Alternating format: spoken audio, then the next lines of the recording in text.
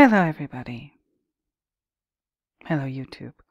Hello, art history enthusiasts and visual culture aficionados. It's me again, Miss M, and I'm back with yet another video. This should be a fun one. I hope you like it. Um, I debated as to whether or not I should like to start doing these, but I said, you know what? What the hey? Uh, let me go ahead and do it, and we'll see what happens and how it goes. Um, hope everybody's doing well. Hope everybody's having, you know, a marvelous weekend or what's left of it. Uh, and hope everybody has a marvelous Monday. So I, let's see, when my last video was two days ago, so I needed to take a day off for work. Uh, my Saturday was a a mess. I don't know if it had to do with the full moon or not, but whatever. Um, and I say that, you know, people kind of blame weird stuff happening on the on stuff like the full moon or whatever. And this video might partially have to do with that. So we'll we shall see. Um today I'm going to uh start a new thing. So I said in my community post here, um, the last one that says more homework, you know, nerd face and a cup of coffee because we all need th- we all need that. Uh, always, always have a pot ready. Um, Twin Peaks intro.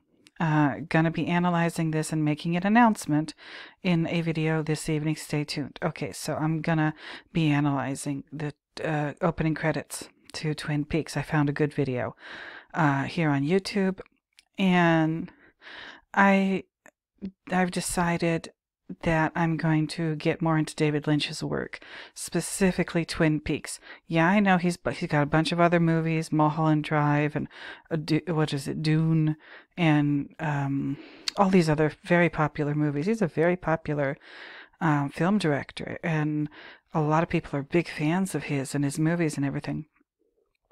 Um, and he was very successful uh, as a director when he started doing Twin Peaks in like the very tail end of the 80s and the beginning of the 90s. And I was a little girl at the time, and I saw it on TV. I sure did. Um, but of course, I didn't understand it at the time because I was such a, a young child, you know. Uh, but here we are. I'm revisiting it again, and I started watching the first episode last night and like just a couple of minutes in i realized oh yeah i want to do um a twin peaks analysis. And do i have one here? Oh yeah david lynch on the origins of bob uh gonna be talking about that. So i'm just you know when i said make an announcement that's the announcement. I want to do a twin peaks series. There's like 30 episodes altogether. The first season is like eight episodes and the second season is 22 episodes. And at the time when this was on TV, this was like a phenomenon. It, everybody was like, you know, who killed Laura Palmer? And that was like the big question, right? He's good. He's, I, I mean, revisiting the Twin Peaks show. Um, I mean, now I can, again, I was a real young kid at the time. I was a, I was a child. But like now looking back, I can see why it was so popular. He knew how to hold an audience's attention and like the mystery and the intrigue and like the show didn't really make much sense um, because we're dealing with David Lynch. So um, his first film was like Eraserhead, and he's carried whatever he was doing in Eraserhead. I think he's carried that through, like all the way through, like all of his other everything else he's done after Eraserhead, and because Eraserhead was obviously such a huge inspiration and influence on Stanley Kubrick, um, Kubrick realized and saw that David Lynch is a genius. Okay, and he picked up on that and made everybody watch Eraserhead, who was working on The Shining, and there's all those radiators at the Overlook Hotel.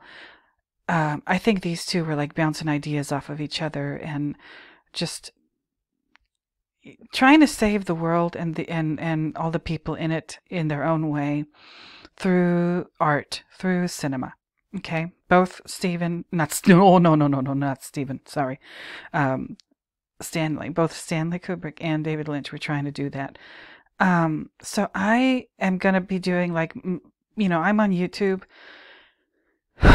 um, partially because I was inspired by all these wonderful creators. Some of them are in my channels page. Um, that do their own videos about reality TV. My favorite is Alexander Rodgers, uh, and, and people like that who do a breakdown of like episodes of, you know, shows that a lot of people like, but they're centered around like the antics of of um, you know various groups like like the like the Real Housewives franchise, um, and Alexander Rodgers does the Real Housewives of Atlanta, New York, New Jersey, Beverly Hills, and etc. And he's really good at it. Um, he's been at it for a while, and he's one of my inspirations. I might even like add him in the description. Like I would love to get his attention. And you know, if you if you if you see this, Alex, or any of my other videos, I would love any advice you have as a like veteran of of YouTubing. Um, to how to spruce up my channel. It's a damn mess. I know that, but I mean, I don't know how to fix it. And I, of course, can't afford to like pay for professional advice or anything. But I want to do Twin Peaks episodes, kind of like the way Alexander Rodgers does, like episodes of The Real Housewives, uh, and and or all the other shows that he covers. Um, and I'm gonna start this one. This is gonna be my announcement and my first like little attempt at analyzing uh, Twin Peaks and the Lynchian imagery uh, within. So let me do my church announcements first. Um, returning viewers, thank you for returning. New viewers, thank you for being new. Subscribers, thank you for subscribing. Each and every last one of you. Please don't forget to like, comment, subscribe, and share my videos. Uh, and when you subscribe, not if, but when you subscribe, please don't forget to hit that little notification bell so you can be uh, alerted uh, when I create, or what is it called, drop a new video. Um, and I've been going shining crazy lately, and I'm going to keep going shining crazy, but I also want to go Twin Peaks crazy. Um, with my little collection of videos here. And yes, I've got a lot of stuff I want to do, and I'm gonna try and do as many as I possibly can. You know, people like again, people like Alexander Rodgers, they do videos every day. I wish I, I wish I had that kind of like determination and resolve. Uh, I just don't, but I I do my best, right? Um. So also, in the course of going through the Twin Peaks stuff, I'm going to be referring back to this page, the uh, the uh, Twin Peaks fandom.com, twinpeaks.fandom.com. I'll leave the I'll leave the link in the description because it'll just you know give you stuff like this: people, places, objects, timeline, the supernatural aspects. Um, and what have you. I'm not really concerned with like production stuff. I'm just I'm just concerned with the finished uh, product, the finished work by the artist behind the scenes. Also, not too concerned with behind the scenes, but um, you know, I I just I'm I'm gonna use this page just so I don't have to make notes about everything. They already did it for me. People, places, objects, and whatever. Right. So I'm gonna leave that in uh, the description. I I comb through this and the Wikipedia pages. Uh, for Twin Peaks um, characters and whatever. Um, David Lynch is trying to save the world. I really believe it. I know that sounds crazy, like crazy, crazy, crazy, crazy, crazy. But, you know, and again, I will prove it in my own way. I will put forth my own evidence, arguments, whatever. I'm going to try and review. Like, yeah, I'll do reviews of uh, each and every one of the episodes of the original first two seasons, right? Not the one that recently happened in like 2017. I'll get to that later. But I just want to deal with the original, like from the late, like, what is it, 89 through 92? I think that's when it aired. Um, there's a lot in those 30 episodes, so, uh, stay tuned. So I don't know how I'm going to do it or like what schedule I'm going to do it on, but I'm going to do it. So anyway, let's get into it. Let me, let me just get into it right now. Uh, again, I think there is a huge um, connection between David Lynch and um, Stanley Kubrick, right? So we start off with this. Okay, let me try to not get a copyright strike. Shit, that's the last freaking thing I need. I'm and I already left this in my community tab, so you can go watch this on your own, right? Um, the opening shot of the opening credits of Twin Peaks, the original series, is this bird. Okay, I don't know what kind of bird this is. Absolutely no clue. But the bird is like perched, sitting on this little piece of wood with the needles sticking out of it. The pine, I think these are pine needles. And behind it, it's blurry, but you can kind of tell that it's a lake or something like that behind the bird. Um, and then, of course, there's that beautiful music that plays during the opening credits that I can't uh, duplicate for you here because, again, copyright. Um, that's why I put it on mute just in case. Don't want it to start yelling uh, without my having turned it on. But so this bird is here. Why is this bird here? Um, well, birds are pretty huge in mythology and folklore and legends and superstition. Okay, so um, even right in the first episode of the show, they mention birds. Okay, um, and the birds are known, or you know, the superstition is that birds are omens of coming, uh, approaching death. So, and there's a bird associated with Laura Palmer's death in the show. So that's the first thing we see here. And that's Lynch, David Lynch, telling us, yeah, you're about to see a show, a presentation, a story that has to do with death. And this bird is here to let you know that. Okay. Um, so there's that. And then from the bird, we fade into a shot of a building that has been identified in the Twin Peaks literature as a sawmill. Okay, so you see these kind of barracky looking buildings. Uh, you see all this steam or, or smoke or whatever it is coming from these smokestacks. Um, so sawmills, what are sawmills? They're places where wood gets cut up, like trees get turned into boards, planks, um, two by fours, what have you. I don't know.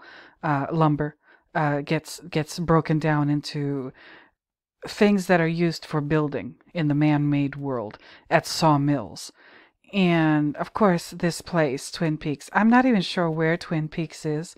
It's I think it says like in the fandom or the Wikipedia pages it says that Twin Peaks is located in the Pacific Northwest.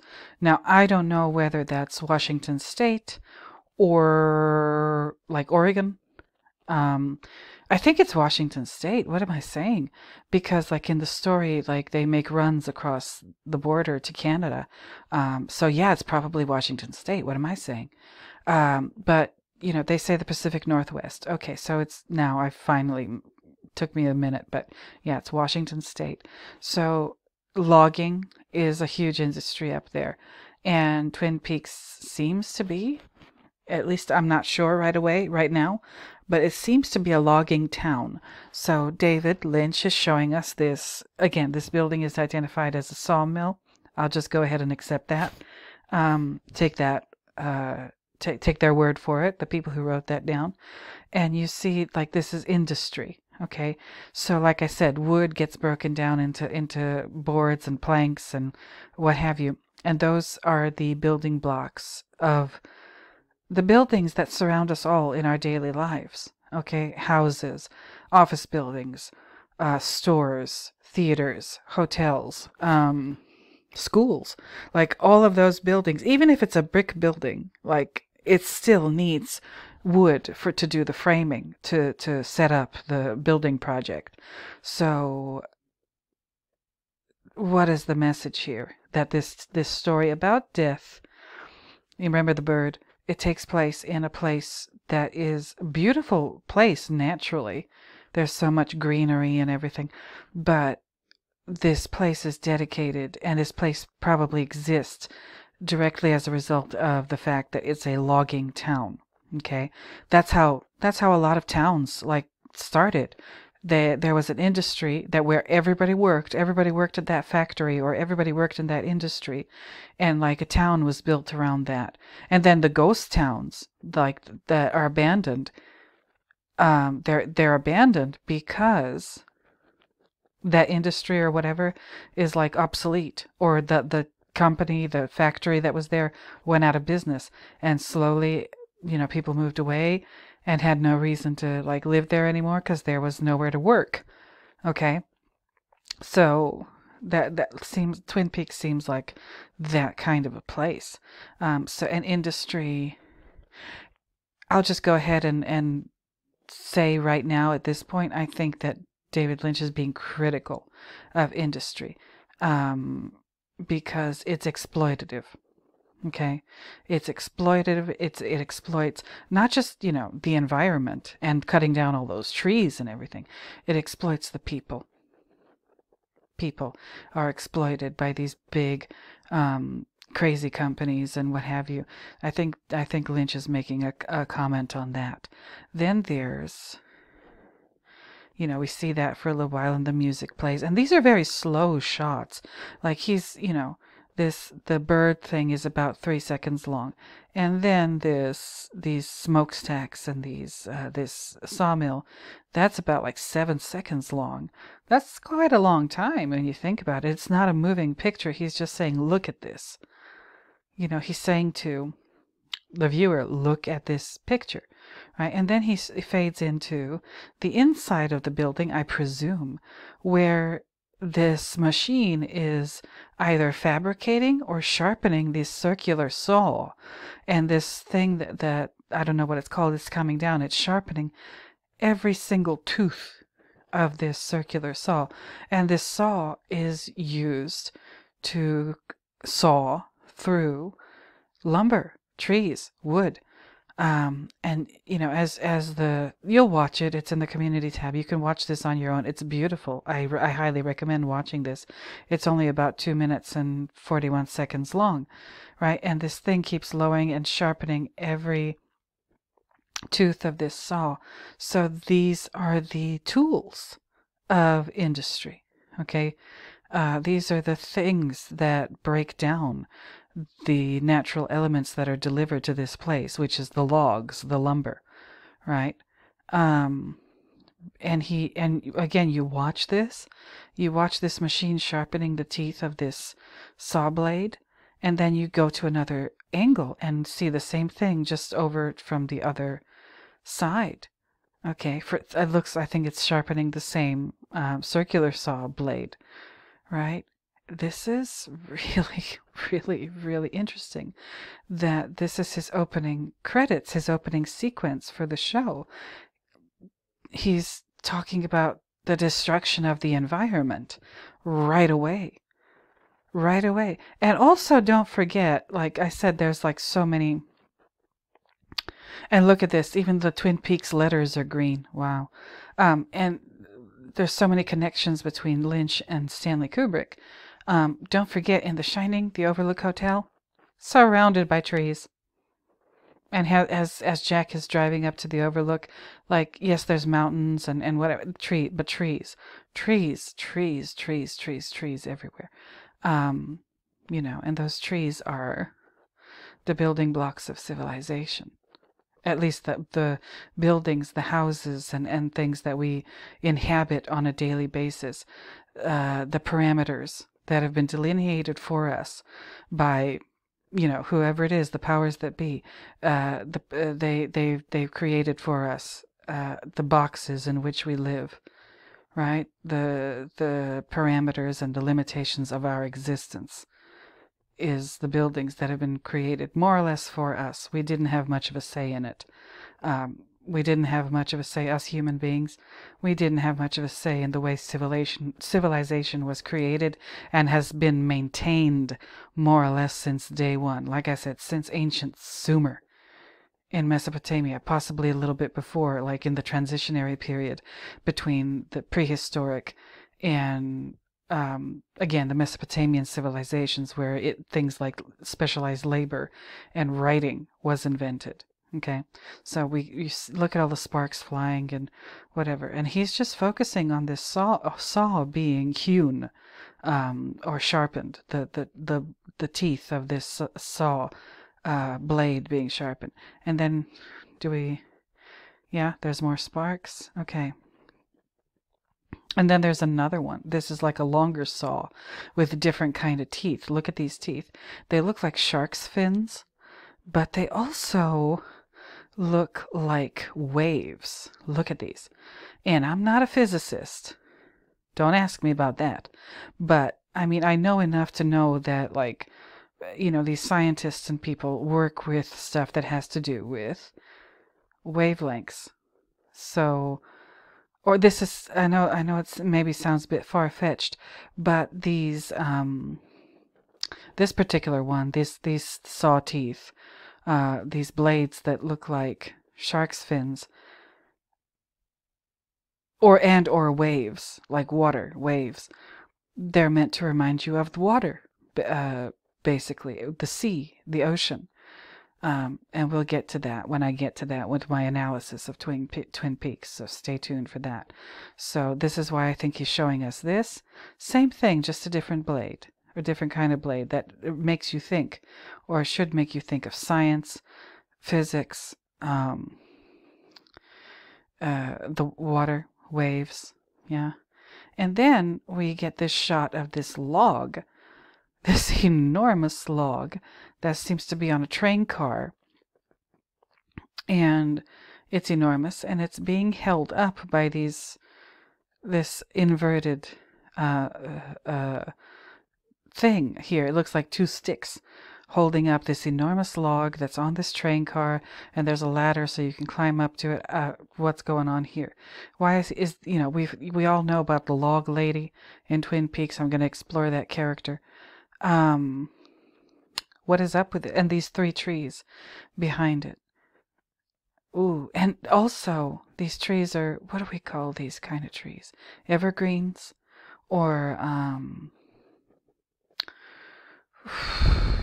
I don't know what they're called, but the kind of trees that are always green, more or less, like they um, they seem to be green in perpetuity. I don't know what that's called, and I'm I can't look it up right now.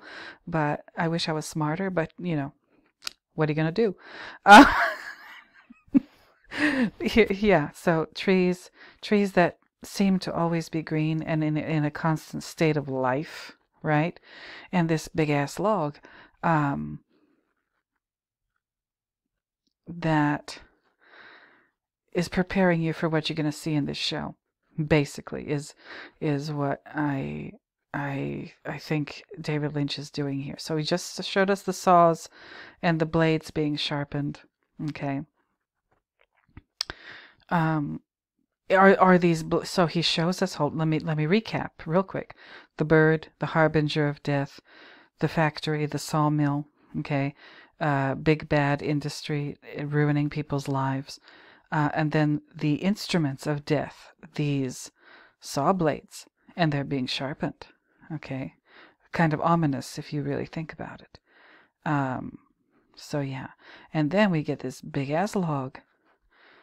So is this log the fact that it's no longer a tree that's attached to the earth? Is this a symbol of death? of some kind? Is it some other symbol? I have my ideas. I want to save them for when I get into analyzing the show and doing, you know, doing what I do. Those of you who've been here before, you know, you know what to expect. But, um, you know, what's going on? This is a huge symbol, like literally and figuratively, a huge symbol. And this enormous, enormous tree trunk is being held up by these two little sticks and the enormous tree trunk because, again, it's not a living tree anymore. It might represent, again, more um, death. Okay, moving on. So, what do we see after the log? We see this. Okay, so I guess this is the, you know, Twin Peaks city limits or whatever. And it's beautiful. There's like this cloud, there's this fog that seems to be enveloping everything. It says, Welcome to Twin Peaks. And there's two, like, I guess, mountaintops side by side, surrounded by all of these evergreen trees on all sides. It says, Welcome to Twin Peaks. And it says, Population 51,201. Hmm, interesting. Uh, and again, we see more trees on the side of the road, and this is a mountain road. It's beautiful. This nature is gorgeous, but there's also something ominous about this. And I know it's foggy in the Pacific Northwest. There's a lot of rain and it's kind of gloomy looking. But I think that David Lynch like amped up the gloom factor with these images because, you know, look at this. This sawmill, it's a pretty sunny day. It's a pretty bright picture, but there's still like this soot that seems to cover the picture. Um, and then this, right? This here. Um, oh gosh. Yeah, there we go. Um, Twin Peaks. This there's there's there's this extra graying that he uses, at least in these opening shots, the opening credits of the show. And I said, "Welcome to Twin Peaks, population fifty-one thousand two hundred and one, if I'm not mistaken." So five plus plus one is six, plus two is eight, plus one is nine. Keep that in mind for later. Uh, and we just see the entry into um, the town. It just, you know, with these green letters. You know, green is an important color, kind of like in The Shining. Jack Torrance's color is green that he usually wears when he's not wearing Wendy's colors. Anyway, so we see this, this mountain road on approaching Twin Peaks. So it also gives you like this idea that this place is isolated. It's not a big metropolis. It's a small town. You know, 51,000, yeah, that's a small town you know, even by modern standards. Um, and then we get into this this picture of this waterfall, you know, um, with the water falling from this top of the waterfall down into what is this, a river, right? And he emphasizes what seems to me there seems to be a little bit of ice around it or snow packed snow or whatever he emphasizes like the whiteness of the water falling like the foam created by um, the water as it's falling from the top downward into i guess this river or stream or whatever uh, into the waterfall now why is he doing that and why did i mention the population and I added up all these numbers to nine. And then I I said, okay, you know, this here. I when I do The Shining, I keep kind of reminding you that my belief is, my opinion is, that Stanley Kubrick is messing with mythology, and and even his Wikipedia article on Stanley Kubrick says that he was an avid fan of all kinds of mythology. I think specifically, or or with emphasis on Greek and Roman mythology, if I remember that correctly. I think David Lynch is doing something very similar here. Uh, we got, you know, I I put up the song the other day. You can go to my community page and check it out. Like scroll down until you find it. The Anthrax song "Black Lodge," which is definitely inspired by this show, Twin Peaks. Um, so there's the Black Lodge in Twin Peaks, and it's the place where like Agent Cooper goes and you know gets clues and whatever about stuff. I, I'm not sure yet, but that's the impression that I get, like from what I remember from watching the show as a child. And it's this place where nothing makes sense. Uh, people talk backwards. Um, it's weird, just weird. Uh, but, you know, as I was reading these pages and the fandom pages and Wikipedia, um, what it says is the way to get into the Black Lodge, if you're like a mortal, right, uh, is you have to go to this place in the forest uh, that's surrounded by a ring of trees, and inside of the ring of trees, there's this pool with like stones around it. It's not a big pool; it's a small pool, and there's like a black liquid or substance in that small pool, and that smells like burnt up like motor oil or whatever. Okay, cool. Um, and in order to that that place becomes the threshold between the world we know and the lodge. Okay? And the only way to enter as a mortal is if you walk into the forest and find this circle of trees and find this little black pool of used up motor oil, you have to be there in order for that place to become an entry into the lodge uh, during the conjunction of. Dr. Luke, I hope you're listening. Uh, during the conjunction of uh, Jupiter and Saturn. Okay? yep. Um, and that's how you enter as a mortal. If if it's like if it's not a mortal, they can come go in and come out whenever they want to. But as a mortal, you have to wait for that uh, planetary conjunction, like astrologically, uh, Jupiter and Saturn. And listen, that's not a coincidence. They put that in the show for a reason. Okay, I haven't even watched the whole thing. Haven't even gotten through the first episode, and I can tell you already, if that's the requirement for getting into the lodge, okay, that means something. And this foam that we see here, listen, um, Jupiter. Jupiter's Jupiter. Jupiter is the Roman name for Zeus, and Saturn is the Roman name for Kronos. Uh, the the the uh, Roman equivalents for Greek gods. Okay, so Jupiter um, and Saturn, for that matter, are usurpers. I think, if I'm not mistaken, in the mythology, Jupiter ends up killing his father, Saturn. Okay, and before that, like Saturn, killed his own father, who was Uranus. Okay, and I, I, I don't remember like the Roman name for it, or the Greek name rather, for Uranus. But, so Uranus, please don't laugh. Please don't laugh. It's not funny. But uh, Uranus is, so the conjunction between uh, the father and son, uh, the planets that represent or are named after these father and son gods, uh, from Greek, Roman mythology, whatever, um, they have to be conjunct. They have to be like together. Uh, I'll look up conjunctions some other time in order for the threshold, the entry into the lodge to open up. Okay, cool. Like, you know, uh, I think wh- one of these is the god of war and the other one is the god of time. Yeah, this story in Twin Peaks has a lot to do with war has a lot to do with what you've maybe heard of heard uh, uh, referred to as the military-industrial complex. Okay, and there's plenty of evidence for that throughout the show. We shall see it. I shall go over it. Don't worry, it'll be fun. Um, but anyway, so when those two planets are in conjunct, the father and son planets, then you can enter as a mortal this uh, lodge, the Black Lodge, I guess. Um, the thing they don't tell you, the thing that David Lynch doesn't tell you, he mentions Jupiter and Saturn and they have to be conjunct. Okay, cool. However, so I told you Jupiter kills Saturn, and Saturn, uh, so Saturn is Jupiter's father, and Jupiter kills his father, Saturn, and before that, Saturn uh, killed his own father, Uranus. Or should I call it Uranus? Just to make it cleaner. I don't know. Um, but so he kills Uranus. And Saturn kills Uranus.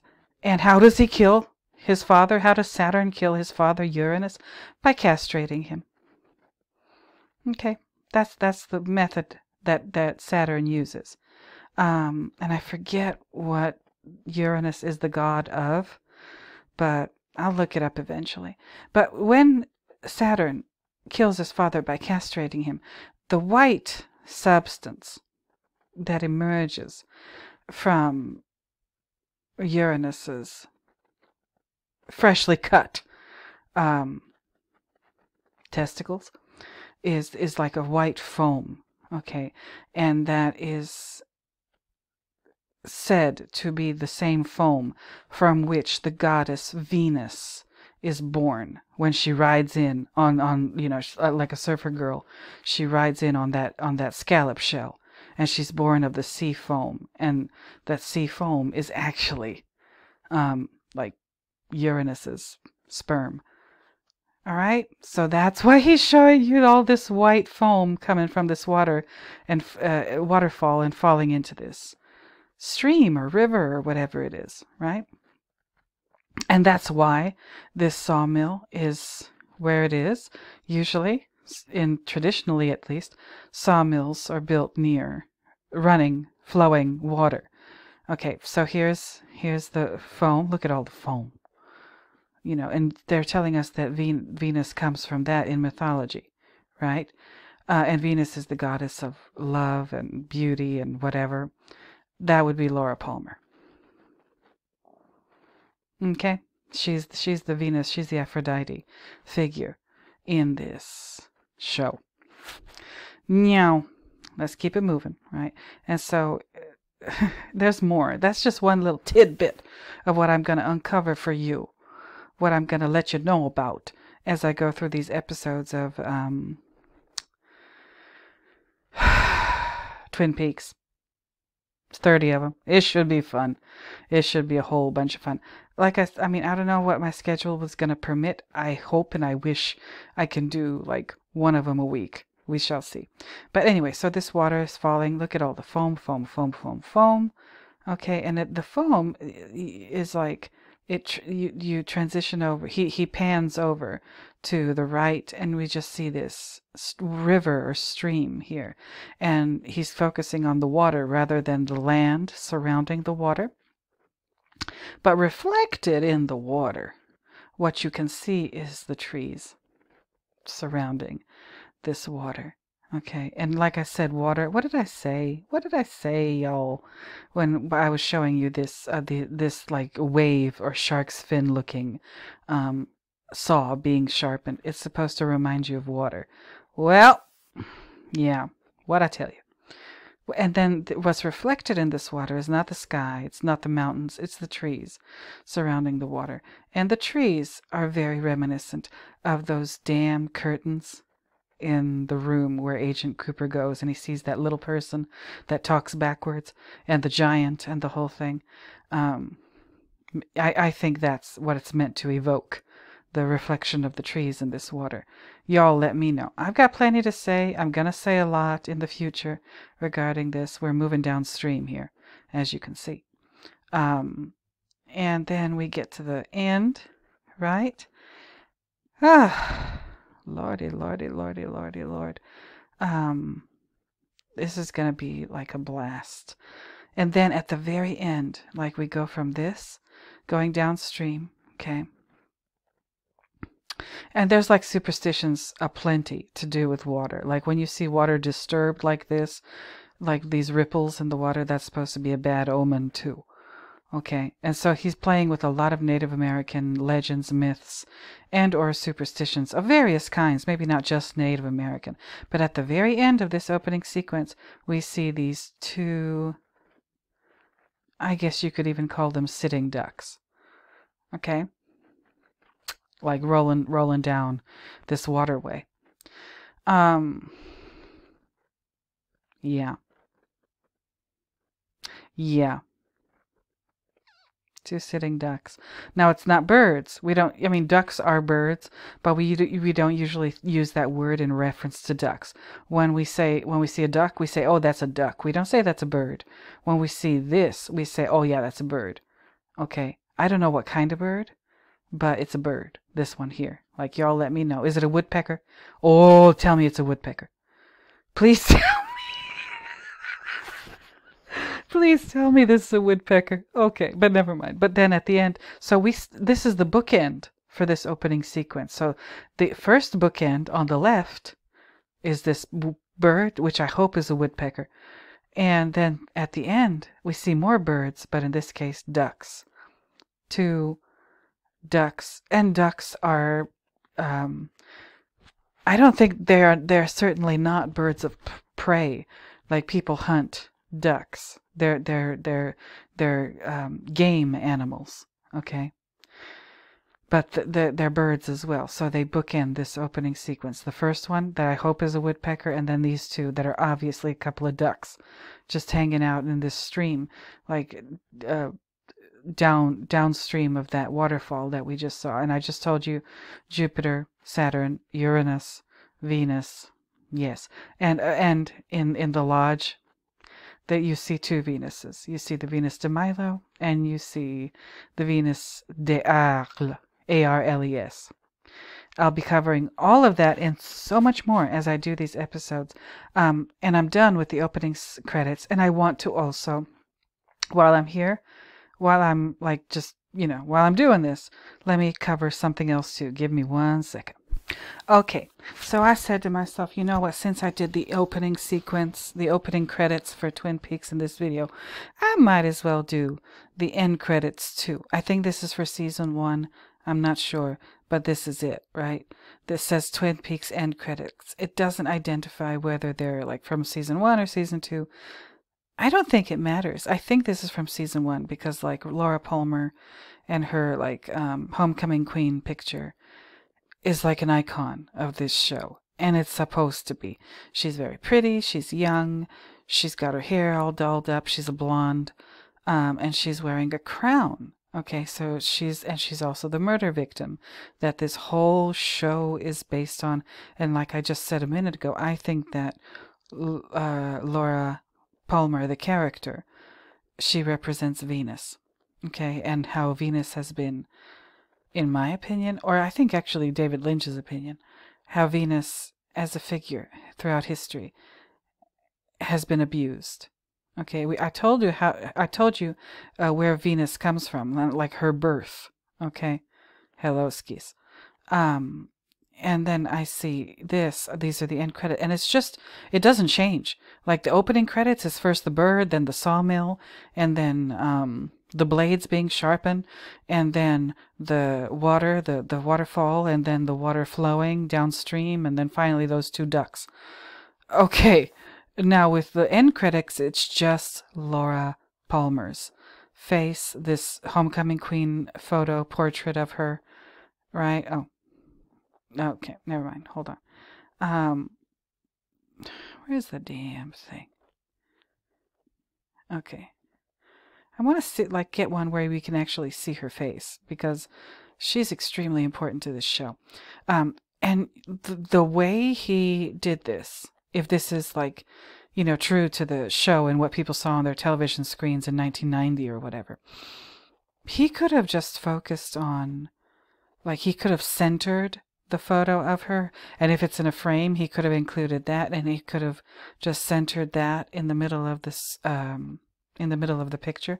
No, he focuses on Laura's face. He he she's smiling. She's very pretty. She's obviously the most popular girl in town and whatever, but there's this she has these kind of dead eyes. Okay, that her smile is not sparkling. She's playing a role. She's playing a role in her life, in her daily life before she dies that she's just not happy with. And again, he could have just shown the photo without all of it's it looks skewed. It's weird, right? It looks skewed, it looks a little bit out of focus, but look at this to the left here. So that's the lining of the the, the liner and the frame uh, that this photograph is framed in. And the frame, it's hard to see but he put it there for a reason. He put this these two little strips of the frame and the liner there for a reason. So the outside, this to leftmost part of this strip on the left hand side of the screen, that's wood. Okay, a lot of frames are made of wood. Actually, well, yeah, a lot of them used to be. Now it's more like plastic or particle board or whatever. But the the the outside of the frame is is that brown wood color. Okay the inside. Also wood, but wood that has been uh, painted gold or gold leafed. Okay, remember, don't forget, um, this this is the Pacific Northwest, logging country, wood everywhere. Um, you know, what did I say? This log. We're going to have fun with this symbolism.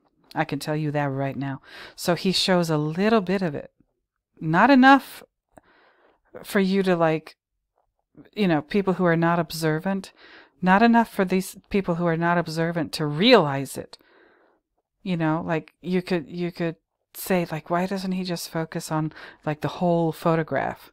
Like whether he wants to include the frame or not is whatever.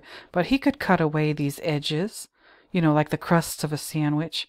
He could cut that off, but he didn't. He left this little thing here. And the and the photo is not like being viewed. It's being viewed at an angle. Plus, we can see a little bit of this frame. The outside is wood. The liner is um, gold leafed wood. Oof.